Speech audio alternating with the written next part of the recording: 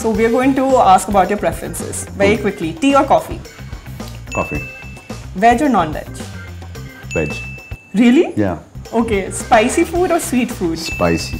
Spicy, Clearly. spicy. Clearly. Hyderabadi biryani or Andhra meals? Stuff. But uh, Hyderabadi biryani.